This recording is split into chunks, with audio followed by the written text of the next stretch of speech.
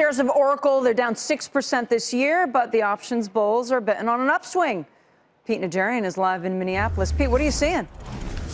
Well, it's it's pretty nice to see what we're seeing right now, which is that somebody actually thinks that there's going to be some upside for Oracle because this is a stock that has uh, suffered. Actually, going back to March, it sold off from that 53 level, which is multi-year highs, and now all of a sudden you go into earnings, they decide transparency of the cloud. We're not going to give you as much transparency as we once were, and oh by the way, our guidance isn't, isn't as good as expected. So there was a couple of different things that actually sold off this stock, but he, when the stock was trading around 44.25 today today. Some pretty aggressive, over 3,000, 3,400 actually, of the September 46 calls were bought, Michelle, for $1.10 on average. That was the average price, let's say. So seeing that makes me start to think that, you know what, maybe we've got a chance. Maybe we're going to see the stock start to move back to the upside. And oh, by the way, with the options, with the dollar at risk, that is a great risk reward in terms of where this stock might be going to in the next couple of months. I will be in the, I'm in this trade. I'll be in it for the next couple of months. But it's nice to see that there actually is a little bit of bullish behavior,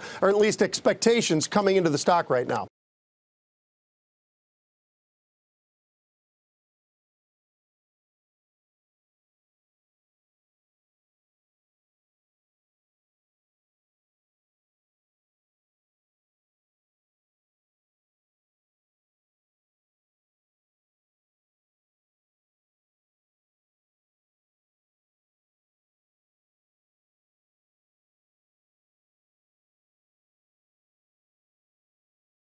Hey there, thanks for checking out CNBC on YouTube. Be sure to subscribe to stay up to date on all of the day's biggest stories. You can also click on any of the videos around me to watch the latest from CNBC.